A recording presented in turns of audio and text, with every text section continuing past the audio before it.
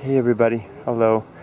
I'm here the, along this little road here. There's a shrine right there. I'm gonna pop in there in just a second. I like the one little light there. Isn't that nice? I'm gonna pop over there and eat my katsudon before I continue my long trudge home. But I want to show you is right over here. Look at this. This is something pretty rare. Um, I've only seen a few of these. There's an old farm compound uh, behind this. But this uh, is an old, really old style gated entry.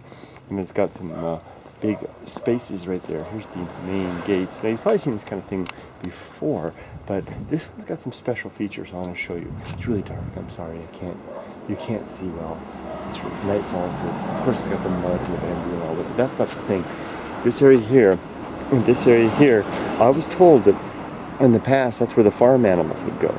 They had some animals, horses and stuff like that to spend the night uh, in this area here in this area right there. So they'd come bring them inside the compound, close the big gate there, which you can see, and there's a small door right there for you know people to come in and out of. But they bring the animals and the farm equipment there, seal off the compound, and the animals would be safe inside with the uh, with the with the people as well. And behind all this would be the big farm compound. Of course, it's all blocked off; you can't see at all. But um, I'm gonna head over here now. Very interesting to see that. Head over here, pop into the shrine, and enjoy a little katsudon. You can just see the edge of the farmhouse over there.